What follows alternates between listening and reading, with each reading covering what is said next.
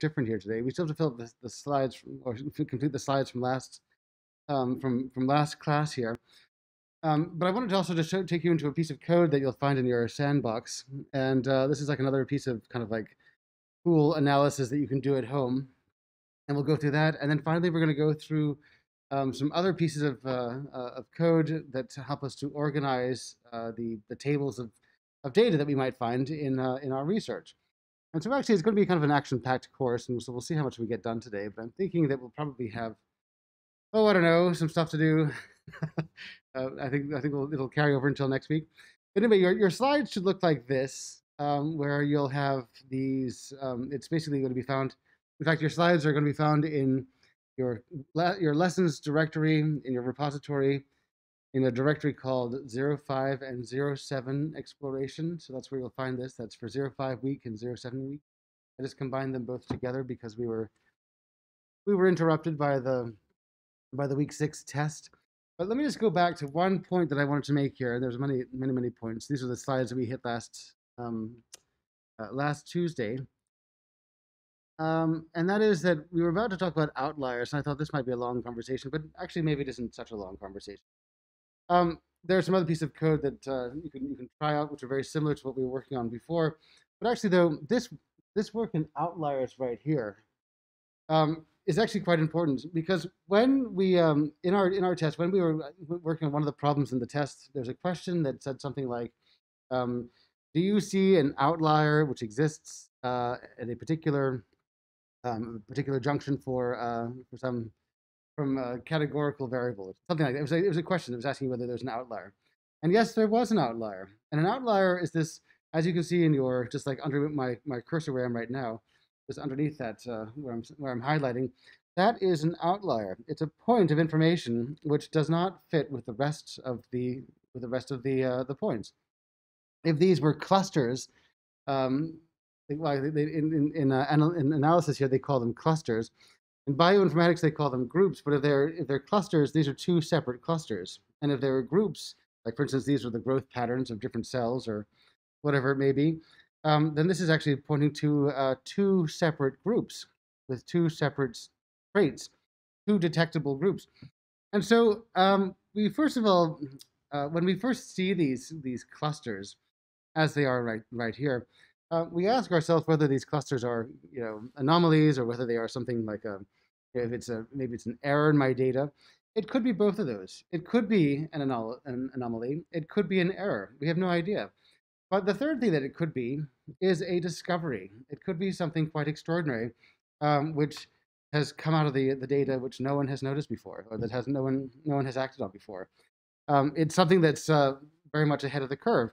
And so you can see that if this were a, uh, if, if these points on this on this plot that I'm looking at here, if they represented, I don't know, maybe um, companies or progressions or something of, of stocks and and you know, price and, and stock shares or something, then it seems that there's one stock share that's uh, actually doing quite well. And so you can see that it's not just an outlier necessarily, but it could be a discovery. But the thing is, though, the reason why I wanted to, to mention this, and I've been mentioning a point very similar to this all semester, and that is that in data analytics, we just get nice graphs.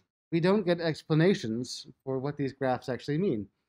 So for instance, in this case, um, we just have information that says that there's one point which is far ahead of the other points.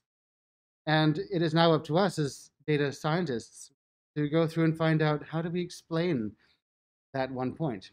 Is it an error? Is it an anomaly, which means it's not an error, it's just something that happened, or is it the discovery that you're waiting for? It's the, the big moment.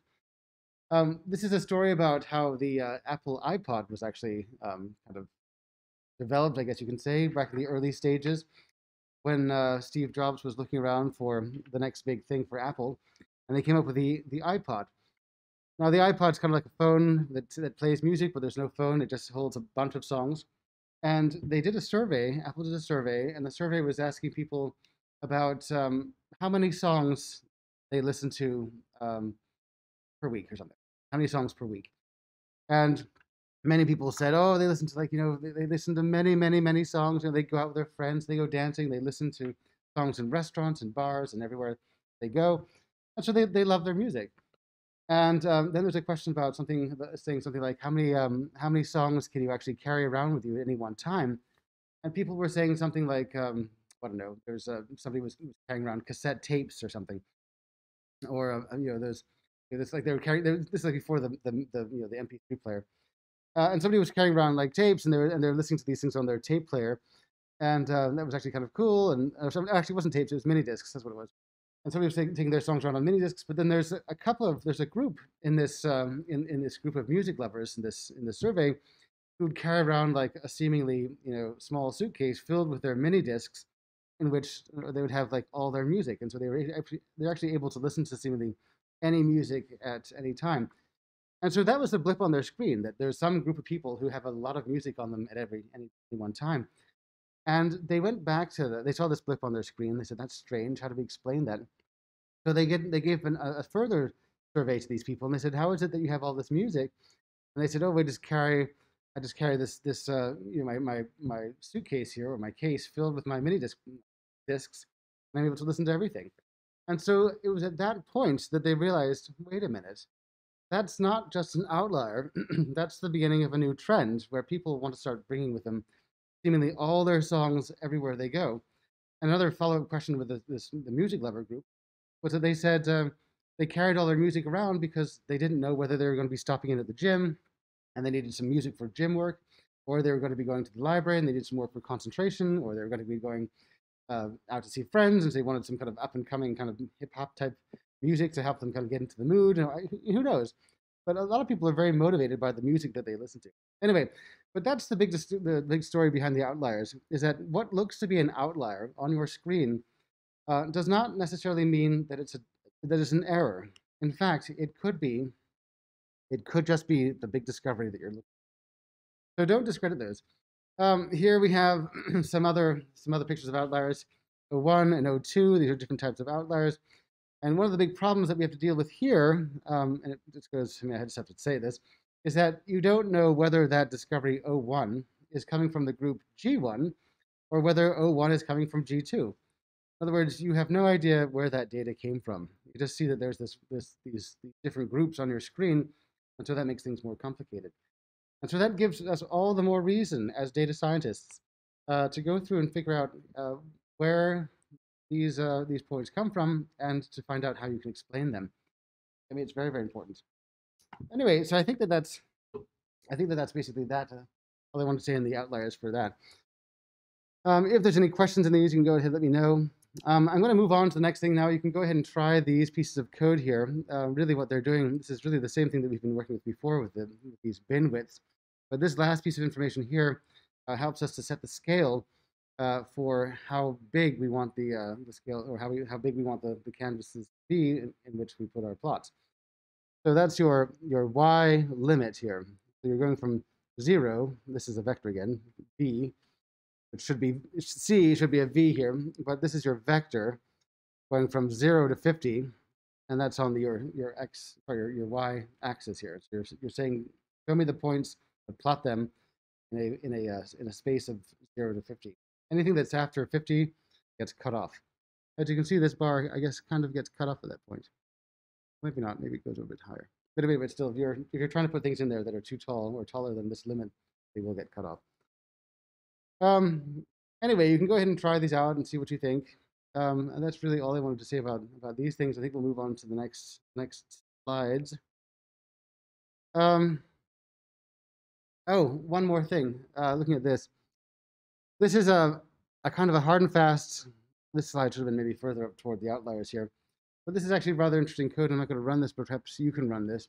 But what this thing does is it uses the filter command, as we all know, the filter command that's going to be basically what it does is it takes the diamonds command or the diamonds data set, and then it filters out all values of, of um, it, uh, it, it, it filters out all the values of, mm-hmm. of, of y for which y is less or less than 3 and greater than 20. In other words, those are the ones that are, are the supposedly um, out or the, the outliers, I guess. If you're a y value here, which is uh, less than 3 or greater than 20, then that, those are the values that we want to uh, kind of remove here. And so these are the ones that are going to be set. Um, these are the, you can see these are the values that are that are touched here. So we have y values that are equal to 0, maybe those are outliers, maybe they're no good for us. And then we have y values which are like 31.8 and 58 or 50, yeah, 58.9. Those are values which are obviously greater than 20. And so this over here is not a pipe, that's an OR. So you're saying that if y is less than 3 or y is greater than 4, then filter it. Um, anyway, that is that. I'm going to move on to the next things here. You can try that code out and kind of get an idea about how you, you like or how you um, how you could use that that code in your own work. It's uh, really straightforward. Now, one thing that uh, we've been talking about um, is uh, like doing kind of like back of the envelope types of calculations here, to, really to figure out, for instance, uh, what is the to do some quick analysis, like what is the answer to such and such question. But you don't want to spend a huge amount of time doing this, but you, you do want to answer the question though. You do want to have some kind of quick and easy uh, system. And so what I thought we would do is work on, um, we'd go to this, uh, this data set here that I found on a website called 538, which is a uh, like a political website. In fact, if you go to this thing, you can find all kinds of data. In fact, I'll just take you back there and show you. But this is a website that gives you information about, um, you know, for instance, how the different types of how different Congress people are doing, or information about Congress and, and about the government. And I thought that you know, and, and, and the House of Representatives. And I thought that this is kind of you know appropriate right now, given that, for instance, we're, we're thinking about voting, and uh, you know, the world is becoming much more political.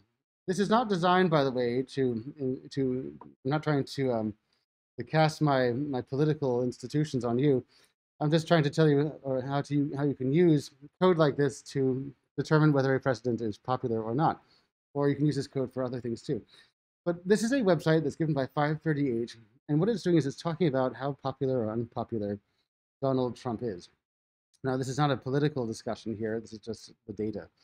And so you can see that as you move this line over this data set, you can see that you're, you're, these numbers move around. And what these numbers are, are polls. So for instance, I guess every day there's like you know tens of polls which are which are given by Gallup and by other groups um, where they call up people on the phone or they have people do things, I guess, online, but they ask people their opinions about how they, if they approve or disapprove of the president, um, president's actions in office. And you can see kind of where these points are. So what we're looking at, the, these lines are the, I guess, the, the averages, I guess you can say, of all the points that were taken for uh, whatever this day was here. So on, on October 15th, which is today. This number will probably change because the polls are being done all the time. But you'll get this, there's a, there's a point, like right where my cursor is. See that? It's on the, wherever, when you, when you touch the line there, there's a, there's a. And that point represents, I think, the average of all the, the disapprove or approve uh, surveys that day. So for in the red here, again, I don't like these colors because it, one out of eight guys is colorblind, so they won't see the difference. But you, this is a, um, you kind of get this idea about how the trends are moving around between things that are, between how people are, how they feel that they approve or disapprove of the president's meetings. One thing I will say this is, which is kind of interesting, is that these, these, um, these lines appear to be um, reflections of each other. That's uh, not necessarily on purpose, but that's just the way it is. That is actually a bias that we see that's coming through on, in human nature. And the bias is um, actually quite interesting. Uh, when people uh, disapprove of something, they tend to approve of it less. That makes any sense to you. So if I saw a film which I really disapproved of, what a waste of the director's time. I mean, I can't believe this. What a waste. If I disapproved of that film, then the chances are that my approval of that film would also go down. And so this is, uh, you have to ask both questions when you're, you know, do you approve or dis do you disapprove of a, of a presidential or, or a, you know, political, political uh, candidate here. You have to ask those, both of those questions. But you can see that one question kind of gives you ideas about the answer to the other question. And that's just the way that human nature works. So there is a lot of kind of connections between these two data sets. Um, if you go down here, you can see the data set themselves. This is like um, right here, I'm looking at the, um, the Rasmussen reports, Pulse Opinion Research, uh, the Morning Consult, the uh, YouGov, the, YouGov, the NBC News. These are the groups that are actually going out and doing polls, asking people whether they approve or disapprove, and then these results that they get go back to if you have if you approve, then your result will go. Uh, you'll write how many people approved of your of your survey, 47% on the first line for the Rasmussen reports, and 51% disapproved. And then you have this adjusted here. Now, the adjusted um, rate allows you to compare survey to survey. Otherwise, you're comparing one survey, which might be done on the East Coast, to another survey, which is done on the West Coast, and maybe the numbers of people who are involved are completely different. Maybe the geography is different. Maybe something else is different. And so to compare those two numbers doesn't make mathematical sense because they're completely disconnected from each other. But this adjusted means that the both sets here have been weighted in such a way so that you actually now can compare them together and it's mathematically appropriate to do so. Um, you'll have to find out how they adjust their work. There's many different methods of actually transforming the data to make 47% uh, into 42% by this adjusted thing here, but it's probably an equation that they use, which that uh, has has used all the other data uh, in that equation. Anyway, it's a it's a there's a there's a whole class after that, but it's that's basically a transformation. Um, anyway, what I want to say is that um, while that's all very cool, you can see some other things on this thing about. Um, I can go through these these plots at the bottom here, and I can see how, for instance, Barack Obama um, compares to Trump, how George W. Bush compares to Trump, or how at, at, during the same time of their presidency how Bill Clinton, how Jimmy Carter, Ronald Reagan, George Bush, and all the other usual suspects here, how they all compared to Trump during their presidencies. You'll notice that, that Trump's green line across all these plots here is exactly the same, but the other plots um, are different. And uh, one thing I will say, which is actually kind of interesting, is you can see that when you start looking at like the, you know, the, at Lyndon Johnson down here, and Richard Nixon and Gerald Ford, you can see that the, the data sets that they have come out looking very boxy, which almost makes it look like it's some kind of a you know, categorical data that they're, they're trying to plot. But actually, the reason for that is because they had many fewer surveys um, given each week, and so in some weeks they may have had maybe they may have had like some time frames where they had you know for a week they only had one survey, and that's why the line didn't jump around very much because you only had that one survey for that block of time, and so the line was straight. Whereas you can see that today uh, the line, the green line, and Obama's line, and maybe even to some extent George Bush's line, um, really bounces around all over the place, and that suggests that there's um, there's hundreds of surveys coming out every day. There's there, the, what I'm saying is that the, the data is coming is becoming much more rich. Um, one thing that's another interesting thing that comes to mind is I'm looking at George W. Bush. I don't know whether anyone can explain to me this sudden everything's down here at 56 or 51.8 and then his his approval rating jumps up to 82.7 what was that you just go ahead and tell me let me go ahead and unmic and tell me or mic or unmute is that uh 9-11 yes that is 9-11 that is 9-11 and so I'm, I'm, I'm, thank you for telling. thank you so the thing is what i wanted to say is that that again, on our screen, we just have a blip. We have no idea how to explain it, but now we have to go back and think, okay, well, what happened around that time? I'm using 9-11 not to be political, but to, uh, because it's one of the most noticeable jumps. But 9-11, though, was at that time. And on our, our, our graphs here, our plots, we have no idea actually what caused any of this stuff. I mean, look at this. I mean, it's, it's really actually kind of frustrating. You see all these points bumping around. You see another point, like for instance, like um, I'm looking at uh, maybe can't really see, but, but George Bush. There's this. Uh, there's 9/11, and then it kind of scales back a bit, and then it jumps up again to um, 67.0, going up again. Something happened. What happened? I have no idea. I have no idea. And the only way I can find out is probably by going back to the news at that time and trying to figure out how to explain that. But this is the frustration of being a data scientist, in that you have all this, these, you have this pulse and, and this beat on your on your screen from the plot, but you really have no idea how to explain it. And so now, as a data scientist, you have to go back to the data and kind of find out what that point was, and then go back to some of the some theories and figure out how to explain that point. Otherwise, you have nothing. You just have an idea that something happened. Like, for instance, here, I'm looking at Harry S. Truman, 1945 to 1953. Something really bad happened with Harry S. Truman um, around, I would say, after his 455th day, 56th day perhaps, something happened where his popularity suddenly fell well below the, the point. That suggests to me that it was some kind of a scandal. Um, this is interesting. If I look at John F. Kennedy here, I can see that actually his data just stops. That was because because he was assassinated. So what I'm trying to say though is that looking at the data, there is a story to tell, but you don't always know what that story is until you go back to the kind of the, the historical context and put that data into some kind of in, in, in, in, to analyze that data to put it into some kind of context. In other, in other words, you, you don't you have nothing when you look at these plots here. And this is, I think, a point that I was making on Tuesday, where when you're looking at these plots, um, you have these. Um, I mean, you, you have you have uh, certain articles that are coming out of the news where they'll show you a plot like this, and they'll say, "Oh, this argues our point. This is our this is the reason why I just said that such and such and such and such." Well, the thing is though that you don't know that. All you know is that, that there is something going on in your plot, and you don't know exactly what it was, and so you still have to go back and, and kind of check the facts, check to see how that, that point was actually created. Anyway, I don't want to take up all your time with that. I think you know exactly what I'm what I mean by that. But one thing I really wanted wanted to show you down here is that you can actually go after this data. You can actually download the data. And so if I click on this polls data right down here, um, it's going to ask me to um, to open this data by this data in, my uh, in my browser. I can actually grab this data and, and open it. And so I've just done that. And so now what I'm going to do is I want to take you back to the code that we were working on before uh, in R, where I'm going to actually pull across that. Um, I want to actually show you kind of like how to use this, this code here. This code is actually going to make similar types of plots and graphs that what we that, that we saw in in um, that previous website. Um, so in the in the 538 website, and so it's kind of cool, kind of neat.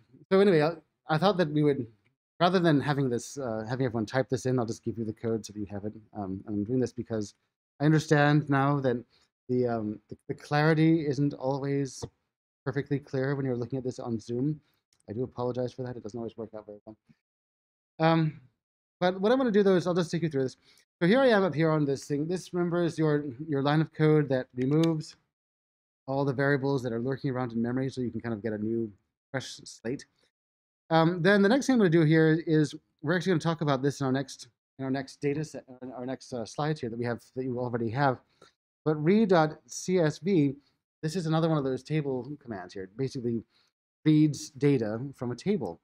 And so what we're going to do now is I'm going to read data from a table that I'm going to get from a file. But what file? This is going to give me a file name. And that file name will then be opened by this read CSV.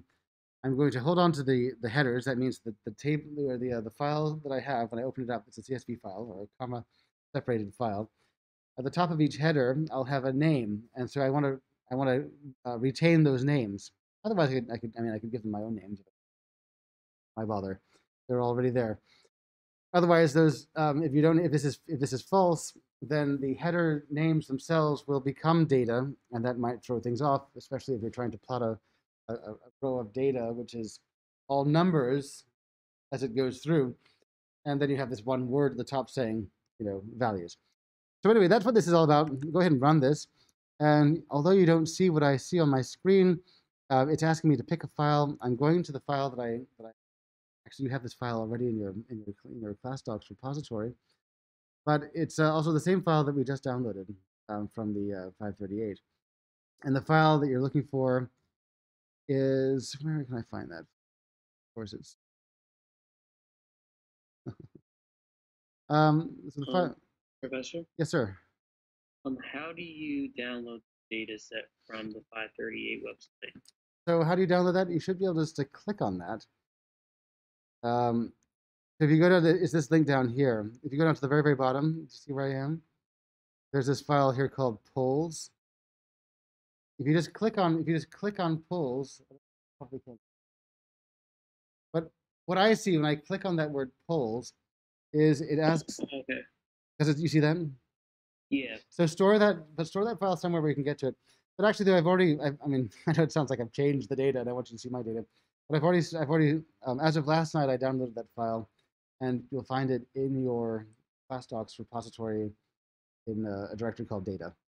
But in the future, but in the future, though, Alex, you want to, you want to, I mean, you'll want to go back to this website and download it again because that's your updated data.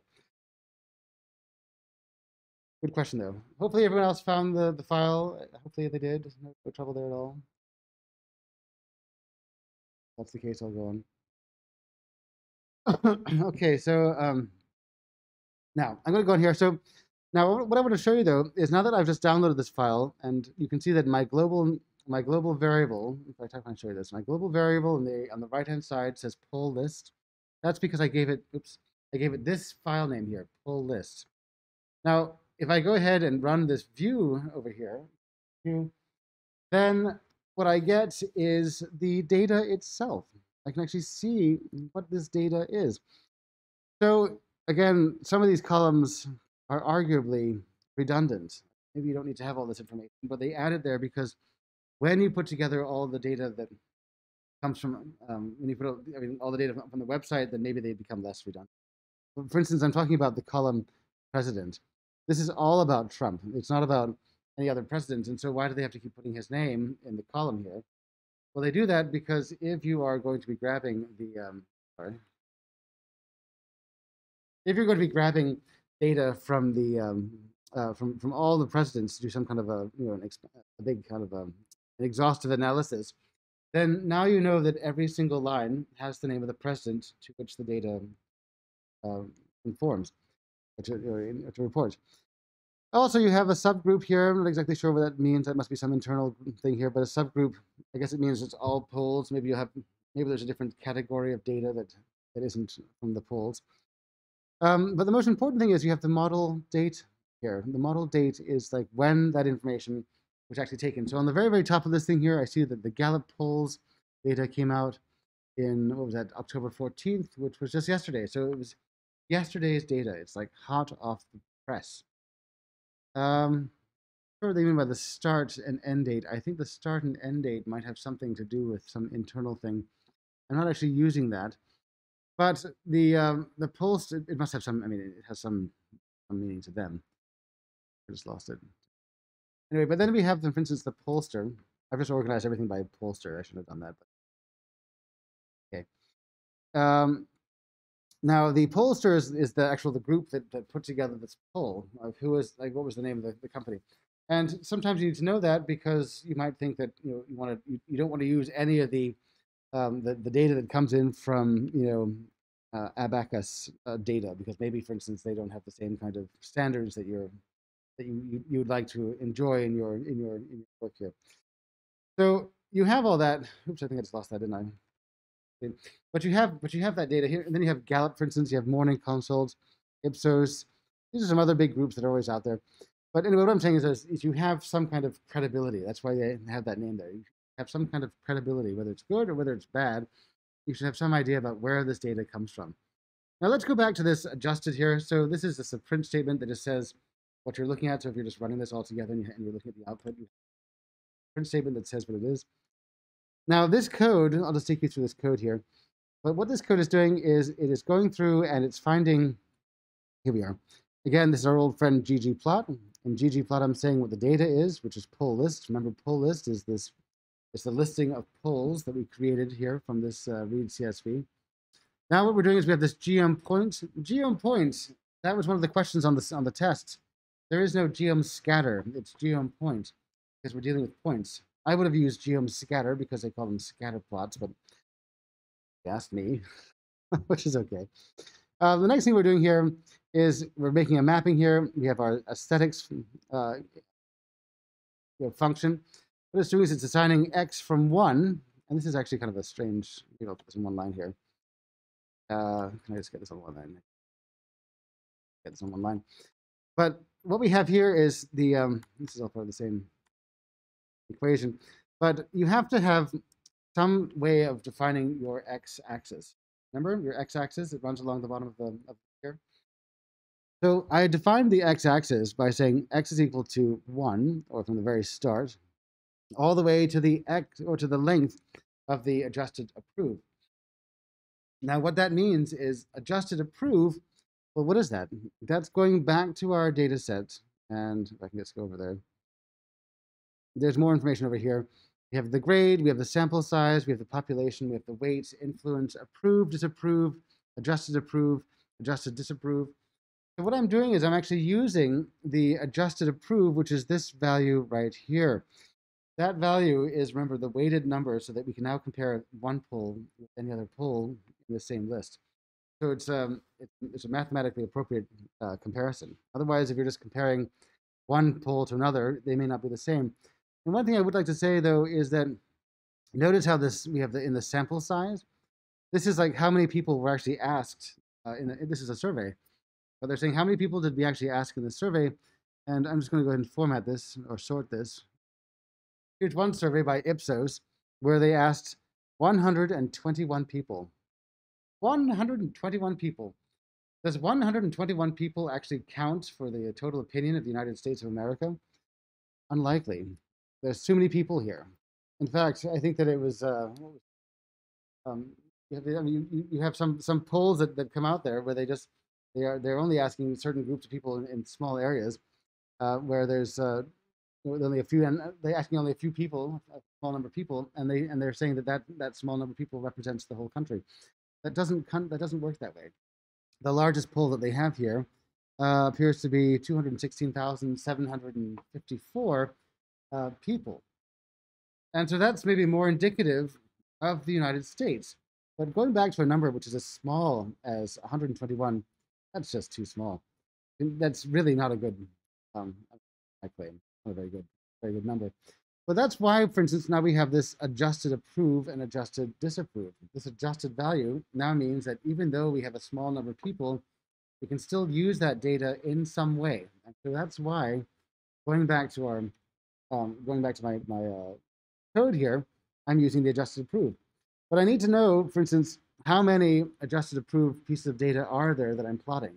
And so, for instance, I need to go from from one to the very last one here. So I'm, I'm counting how many there are.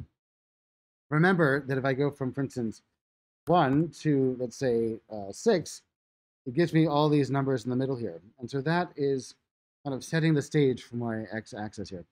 Now my y is going to be the values themselves, uh, which uh, correspond to the uh, the x, the numbers along, or the, the, the placements along the x-axis.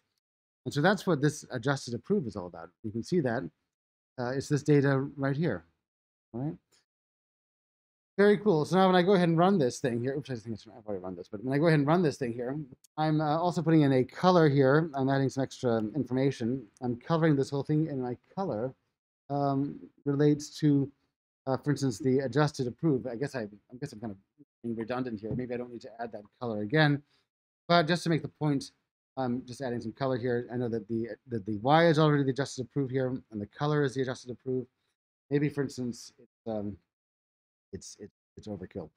But otherwise, it does make an interesting graph to look at, though. And you can see that as the numbers are dark, the bottom here, that means there is less uh, adjusted approval. And when the numbers are, are lighter green or sorry, lighter blue at the top, that means there's more. Okay, so we have those we have those things here, and now I'm going to add a, a uh, special smooth line to this thing. Now, remember what the smooth line was? The smooth line, you can hardly see this because it's smooth line is blue, but the smooth line is um, is a kind of a representation of the points. In other words, you, you don't necessarily need to see the points uh, to see where the line, or just to, to, to, to, see what the, what's going on. You can look at the point, or sorry, you can look at the line and get an idea about the about the the trends that you'd find in the in the points. That line is your linear re regression model. We'll, we'll, talk about that later on. But that's a line, though, that's actually made out of a model. Now, as you're looking at this line, um, you can see that where the line goes up around x equals 5,000, you can see that that line begins to kind of like it starts going up. You can see the points also start going up at that point too. But the thing about the line is that when you have the smooth line, it's, it's, it's, it makes reading your data easy but then you don't see the actual distributions of the points themselves, which, which some would argue is a, is a great travesty in, in analysis. If you can't see the distribution of the points, then means you're doing, you're missing out. The next one is going to be disapproval. The code works exactly the same, where, for instance, we have this ggplot, talking about the data set, then we're making up some points, where we're mapping on the x-axis we're, max, we're mapping uh, again the same the same level of the x-axis here, but now it's we're looking at all the points that are talking about disapproval. Our y is going to be disapproval.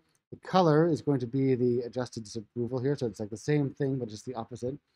Then I'm putting in a smooth map or smooth line here where I'm mapping in aesthetics, which is almost exactly the same type of. It's just, it's the same same stuff as before. Again, we have to tell you know what's the what's the scale on the x-axis, what's the scale on the y-axis, or how many how many points are there, or the scope, I guess. I guess what's the scope of the x-axis and the scope of the y-axis. What are we actually looking at for the y? And then we have a color. And so you have all this information that's kind of just all stacked together, and that's where this plot comes from. Now moving on to the next thing here, I'm going to make another print statement of a of this uh, h line at the average means of each sample. Now this is this gets a little bit complicated. Oops, do that. Um, I'll do this approval and disapproval here. Sorry, I don't mean to keep I don't mean to keep confusing here. Okay, here's a better one. Now I'm putting I'm basically putting two different graphs together. We know how to do this. I'm superimposing one thing over the other. So where you see the uh, looks like it's purple on my screen, maybe it's a slightly different color, but it's a, it's purplish on this screen. Um, this purple with this red line, that is supposed to be, what is that here? That's going to be your disapproval line. And then what I'm doing is I am, in fact, what is that? That's here. This is your approval. In fact, we've already seen the approval stuff over here. This is your, in fact, if, you just, if I just go ahead and plot this, this line right here, this is your disapproval right there. And what I've done is I'm taking this plot, which is on the screen now, and I'm just changing the color and superimposing it with the other plot that we've already seen that talks about the approval rates. When you have them both together on the same plot, it allows you to do a kind of a comparison as we, before. Um, by the way, there's this there's this horizontal line that goes through these points. This horizontal line um, is called the geom H line.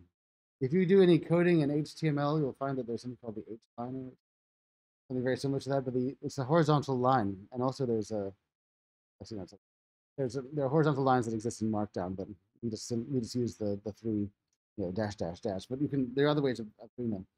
But the horizontal lines um, exist in seemingly all types of graphing software. You can just create a line and just throw it in there and see what happens to the data um, around that line. And so this line has been defined by, I know this looks kind of strange here, but what this code over here means is it says, take the very first, this is your the number here, this is like a, an array, but it says go to the adjusted approval array. Give me the first element. That's what this is here. The array of the adjusted approval, give me the first element of that of that array. Then go to the other or then the, the, the like the, the next or the same that, that same list here, uh, and then go to or, or to the disapproval list here, and give me the second thing, and then divide it by two. I guess actually maybe this shouldn't be a disapproval. That might be approval. That was probably left over from the last class, so I didn't change that. Save it. But if go ahead and save this on your thing right now, save it so that you're looking with adjusted approval and adjusted approval here. There we go. Better. It should be approval for both of them, but it's, it's basically taking the taking the first adjusted approval and the second adjusted approval approval um, element, and it's divided them by two. In other words, this is the average. And so you get that average. And so this horizontal line that we see here is like the first and second day, I guess, of the Trump presidency, approvals. And so you're using that to kind of see whether that sets a pace for the rest of the data set. Um, yeah, so please do make sure that you've changed that. That was a bug. I changed that last time we saw this in class. I can change it back. Sorry about that. Make sure this one is also done now. Um, so here we go again. Uh, this is a, uh, let me go ahead and change this one too. But now when I put this data, so when I put the approval and disapproval uh, plots together in one plot in one thing, I get this. And so remember the, the red is going to be the, um, the disapproval and the, and the blue is going to be the approval but the code is exactly the same. And one thing I've done is everything looks really, really messy. If you if you put this out on so that everything's on its own line, then it looks a bit cleaner to understand. But actually, the code is exactly the same in, in both plots here. The only difference is, and I don't expect you to know how to do all this stuff free-handedly here. That's why it's always easier to work when you have your computer open. You don't have to you don't have to regurgitate this code to uh, to make this plot. But all I've done though is I've just changed. Uh, for instance, here's the color blue. Here's the color dark blue. I've, I've, those are for the, the, the, line and the points themselves. And then I have the color purple, and I have the other color red, and that's for the line that's in the for the disapproval. and the actual data itself I've just changed. And so the code is the same. I'm just changing the x and y points and color, and that is it. That's that's that's really all that there is to it. There's no more magic than that. But there's one thing I wanted to talk about though, which uh, I haven't mentioned so far, and that is, if I can move this down, there's this piece of code here, and this allows us to actually save this information, save this file in some way.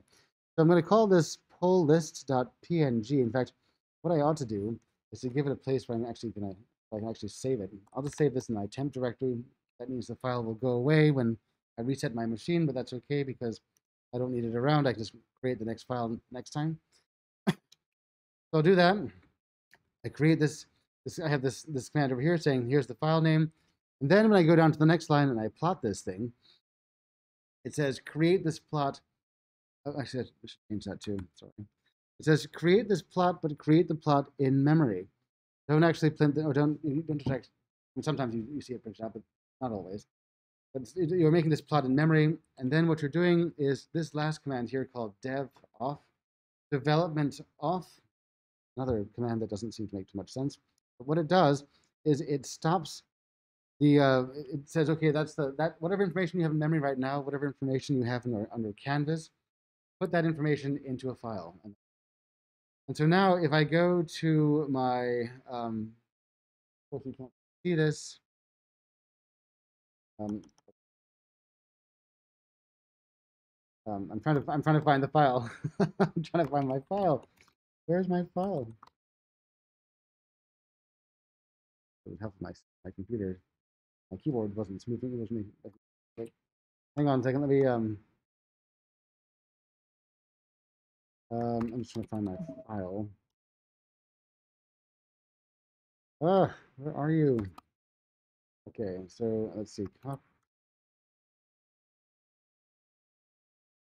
Ah. Ah, okay. Here we go. Um, let's see if I can get this. So that file would be.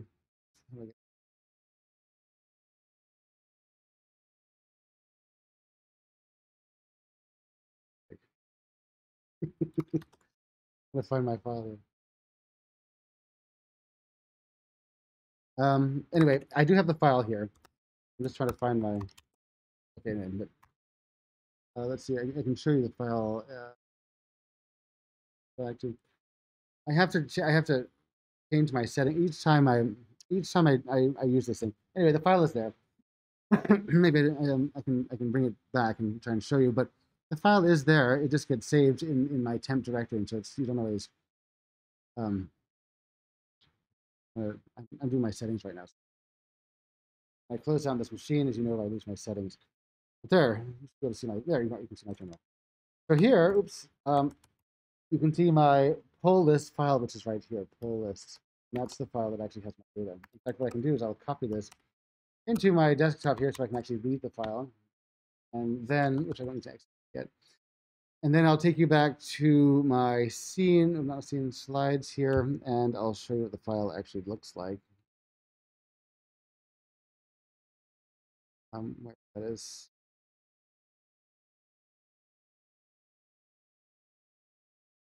Somewhere here, here we are, there. So now you can see, you can actually create files.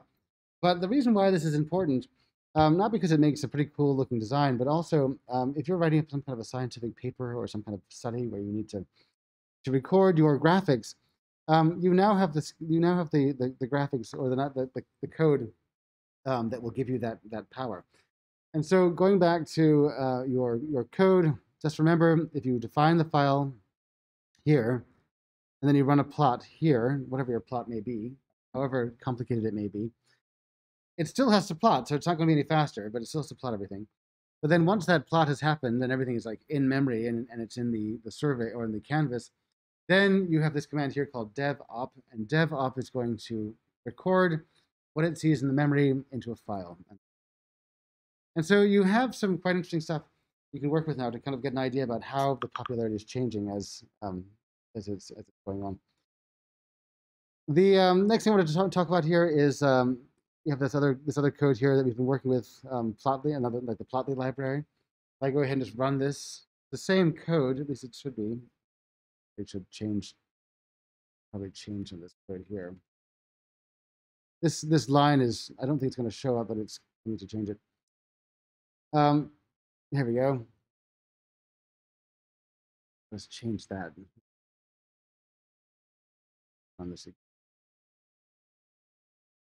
I don't actually right now though. I don't think that we even see those those lines anymore. So kind of like maybe they're not even necessary.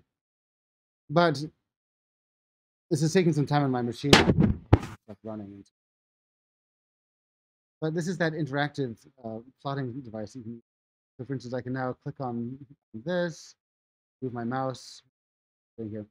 But you can actually like compare uh, points along the same um, at the same at the same time here. So for instance, uh, this x equals, um, I don't know, 10,799. I guess that's how many how many pulls there were. Not why that 0.63 is there, but it must mean something. But that's the number of pulls that we had. After my 10,000th pull, um, I can look at, for instance, all the different um, approval and disapprovals at that, that particular moment using this it's quite exciting, but um, still, do spend some time here. I mean, obviously, go and vote, but do spend some time to kind of like go through some of your your own um, analysis um, before you vote. I mean, you can find if you go back to this website. Um, one thing I was going to talk about on my way back. Um, around. But if you go back to the website, we're looking at there's there's information about Donald Trump. But also, though, you can go back to 538, and there's seemingly other kinds of information out there too that you can download other data sets uh, that you can work with uh, to help make your vote perhaps more informed. Uh, for instance, here you can look at uh, there's a an, there's articles here about the um, Amy Coney Barrett um, confirmation, and so you can find out information about what people think about that, and then you can plot that and put in, in all kinds of analysis. And so what I'm saying is that there is data um, everywhere you can use. And sometimes, though, if you run these data sets yourself and, and, uh, and actually do your own analyses, you will notice, you will see things that the media, I hate to say I, I sound like I'm some kind of crazy person here, but that the, that the media leaves out there, and that's called cherry picking. That means you're finding information which is which is in your in your um, you're finding information that's uh, it gives you maybe a fuller story of what's going on, which was left out by some article, so that you don't be you don't become distracted by by what they would think is bad news. That's what they call misinformation. And in fact, in this class, we do have a, um, an activity where we talk about misinformation coming up later on. Anyway, it's actually quite exciting. But please do go out and vote, but also make sure that you're, I mean, go visit credible websites and find out what's going on so that your vote is more meaningful.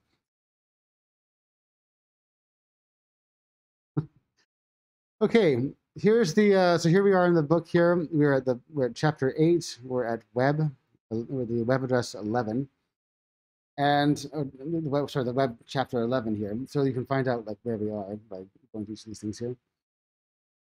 Um, one thing I'd like to mention so far is that um, we are now RStudio programmers.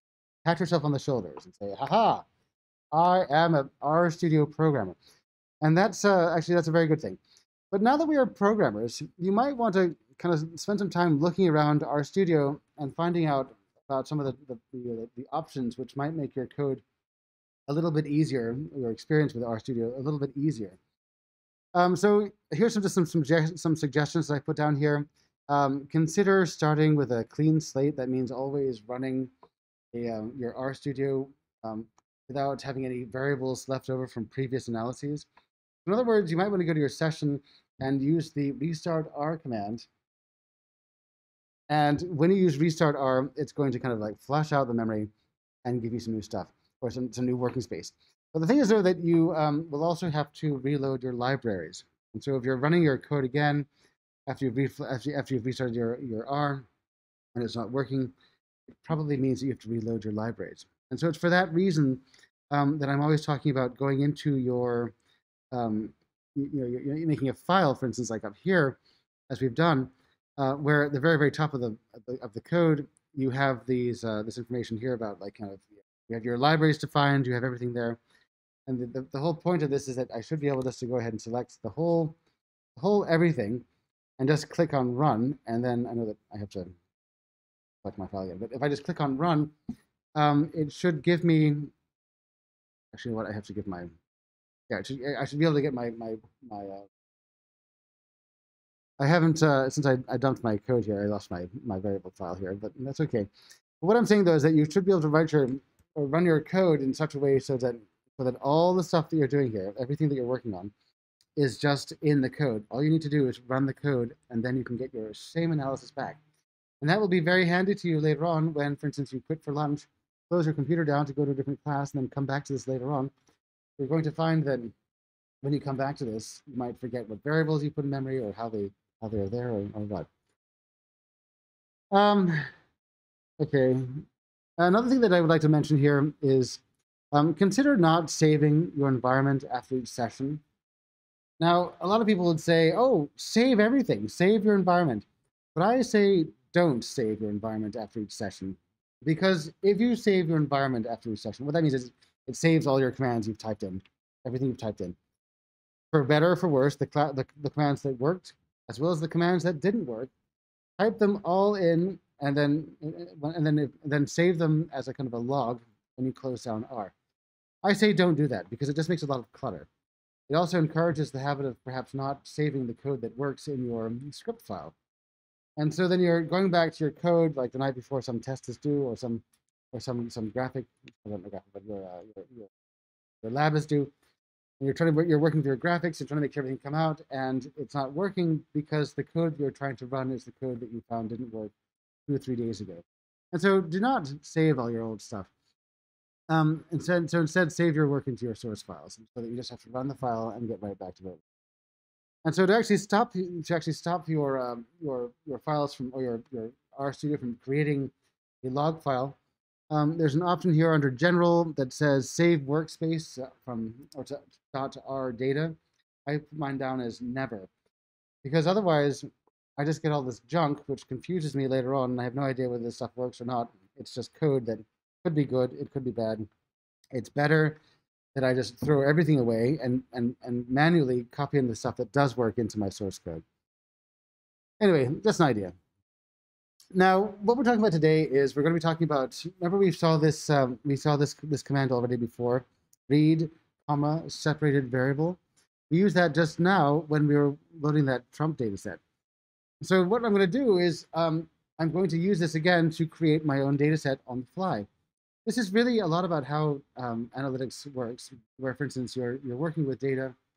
Actually, I'll go ahead and, and make a new file here just so I can put this thing here. I'm going to my new script. Uh,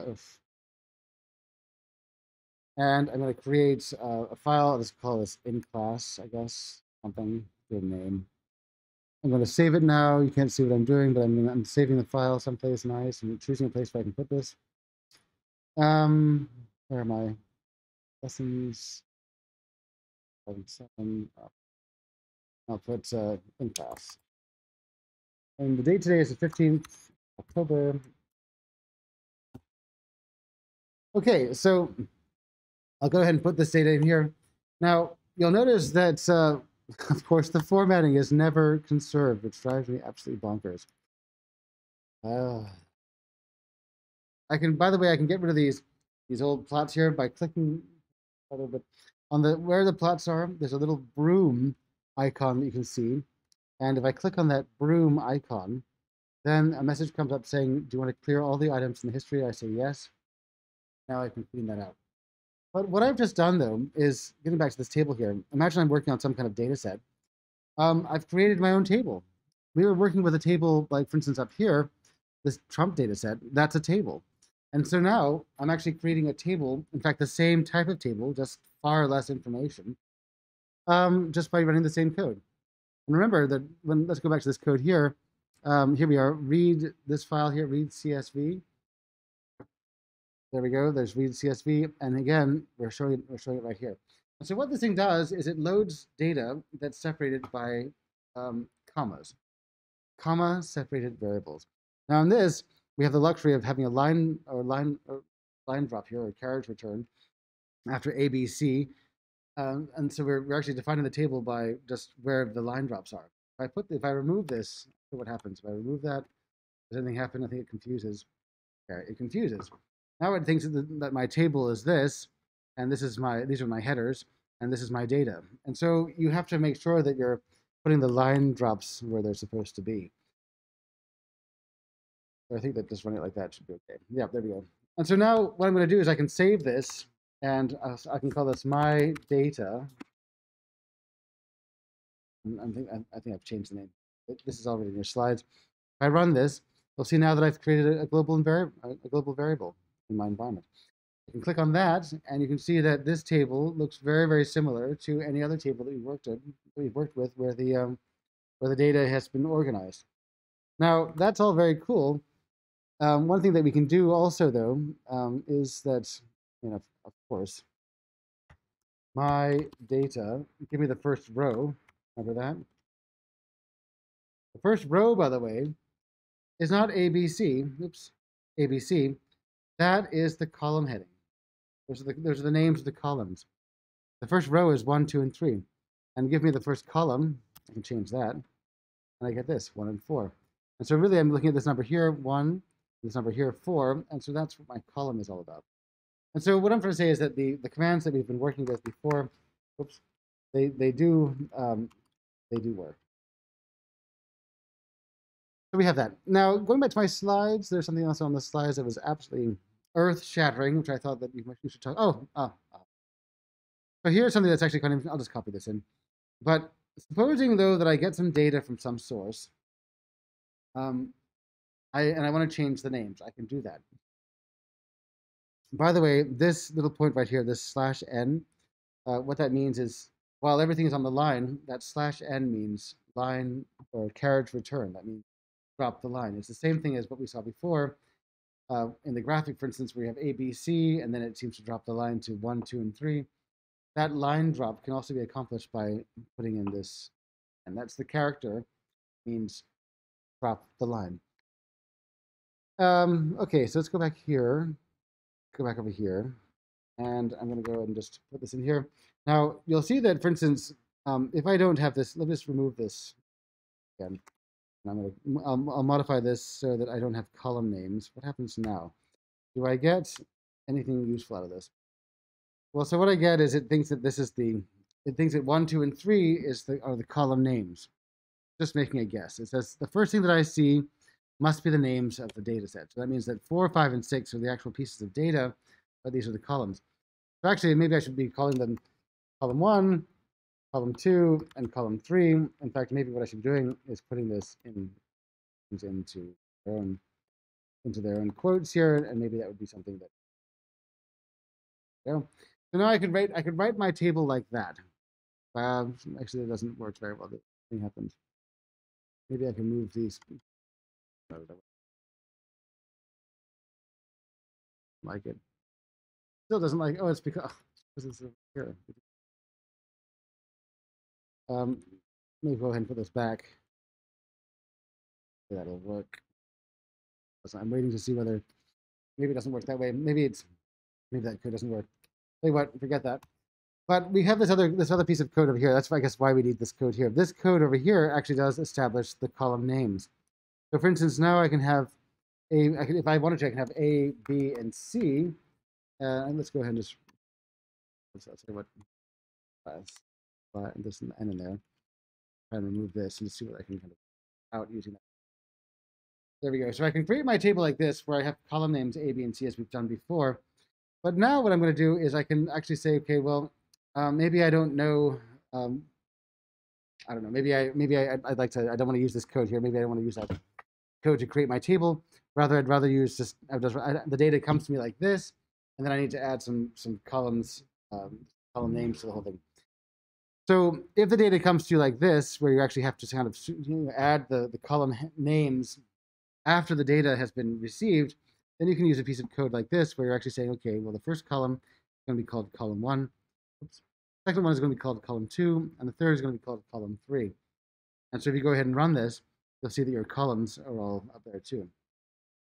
Now, if, for instance, you have the option of actually creating the data yourself, you can still create it in this case, where you're actually putting like column one, column two, and column three here, and then the table should be exactly the same. But the reason why you'd, you'd use this is because when you download some data on data sets, they don't give you the names of the columns. There's no headers. And so you have no idea what these things are. And so it's really up to you to add your own headers. And so you might have the data in a variable, which is stored like this. And for instance, I could probably save this data as, I'll do this? Let's try this. My dad's, or my numbers, um, data array. Um, oops. I'll just put it like this. That's going to be a string. Can I edit this code so that I can just go ahead and remove this and put instead of the actual numbers there, I'll put my data array. Hopefully I can. Uh, not, oh, you know what? Um, that's not working out. Something's not connecting here. Well, anyway, it doesn't seem to work that way. Extraordinary. I don't know. I guess it, oh, here we are. Now that seems to work. If I go here, then, okay, so then I can do that. So if the data comes to you looking like this, where it's like a string, then you can put it into your, you can actually create a table using this by throwing the, the, the, the array, or the, the variable that holds the array at this variable, or this, at this function here. And then you can define the column names right up here. And so the, um, the result is the same. It's just a, something fun you can do. I'll just go and put this back just so we have it. So anyway, that's these are just different ways of, of creating tables that you might want to use if you're ever doing like a kind of what they call a back of the envelope type of calculation where you just have some, some data that you want to work with quickly and then kind of do something with that data. Um, so now getting back to our slides, what do we have here? So we um, there's other ways of actually loading files of data, and we've already run into one of these things before in, in our in our data that we were at just earlier. And that is that um, when we loaded our, our trump file, we were actually able to load that file using a chooser. Now, for those of you who don't know what a chooser is, a chooser is a is a um, kind of an array that, or a panel that pops up, um, which allows the user to actually go through the file system and to find that file. So, for instance, I'm going to. I think we have some sunspot data that we've been working with before in the in the uh, in the class, and I've put this data set into this um, into your class docs repository. And so now you can just try this uh, just go ahead and run this line here. And of course, you can't see what I see, but I see a panel that, that, that pops up on my screen. And that's asking me now, to, it's showing me my files. I can, I can click through and I can go to the, uh, the class docs repository, which is, where is that? Here, class docs, there we are. I can go to lessons. I can go to 5 and 7 exploration. I go to my sandbox. And there we are, sunspots.csv. I go ahead and click on that, open. And you can see what happens now. My data set has just opened up here. And so this makes opening data very, very easy if you can just put together a chooser and say, yes, you know, the chooser just returns a file name. Just, it's just a string. It's a path, a file, and that is it. And then that information goes into this read table, which then loads that file. And over here, this is this information here is this comma separation.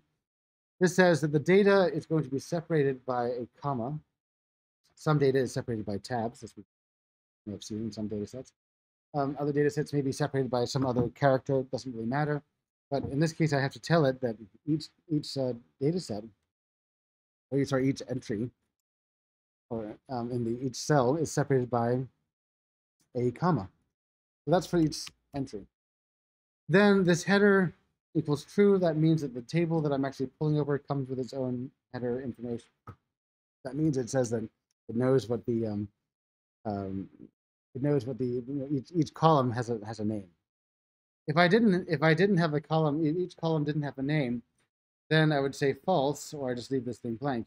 What this thing does is it it makes sure that the information that which is the header information, in other words, going back over here, uh, we see at the top month, day, uh, year, month, day, frac of year, all that information there could be misconstrued and look like data to RStudio. And so we need to tell um, studio that the first line is not data, but it's the, it's the column header.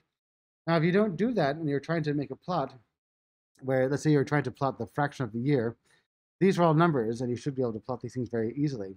But as soon as your plotter or your ggplot runs into a, the variable frac of year, uh, or the you know the, the value frac of year, it's going to get confused and it might throw an error, which is going to crash your your plot. And so you need to go back to your, your data set and or your, your, when you're loading this thing here and say, no, no, no, no. The first line of my table is not data, it's the header. That's how you get past the problem. Um, okay, so that's that's all very cool. Let's go back to our slides, if I may. The time here. Time flies in this. I have to tell you guys, the time absolutely flies. This is the fastest part of my week being here. It's because I, it's fun and exciting talking about analytics. Anyway, I'm going to go ahead and just, uh, I, just I, I, can just, I can run this now if I wanted to. This this code or this uh, this file that I've just loaded here.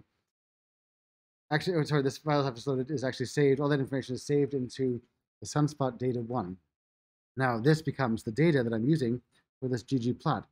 Notice, by the way, that this ggplot function is always the same. It is never, it never changes. Um, that is to say that if you just remember how to write your ggplot, then it's going to be the same commands day in, day out, and every time it's the same. You'll just, it's the same thing. Actually, I run this with the data that I've just loaded for my sunspot, give it some time, wait for it. The fan on my machine is just flying right now. It's like just really whirring quickly uh, because uh, I have all this other stuff going, but that's why it takes some time. Um, this is actually rather a remarkable plot. I wanted to take you through this plot and show you something here. Maybe I can get this on, the, on, on my slides here, which is a, a, little bit bigger. I think you can see um, you, you, can see this plot. But I wanted to show you though um, that when you're looking at this data, notice how, for instance, we see okay, so we see the the trends, right? Good. But I've changed the color here, so the color is now we have the x and the y, and that, those are the points. The x is the year, when a, a point was, when a, a, point was reported, and the y is the number of points we saw. So every point we see represents an observation of how many sunspots there were for a particular time. And then I add the color number of, of observations. That means that as, my, as the numbers of observations increases, the color becomes lighter. This is something we didn't see before. This is actually a very interesting observation, which, um, although I don't know exactly why this is, I have some ideas. Um, but what is a very interesting observation that that that, this, that merits some discussion, I think. What we see now is that it's saying here that as the sunspots, according to our little back of the envelope you know, analysis here, as the sunspots, or sorry, as we're getting closer and closer to the, the you know, to the present day, there are more and more reported sunspots.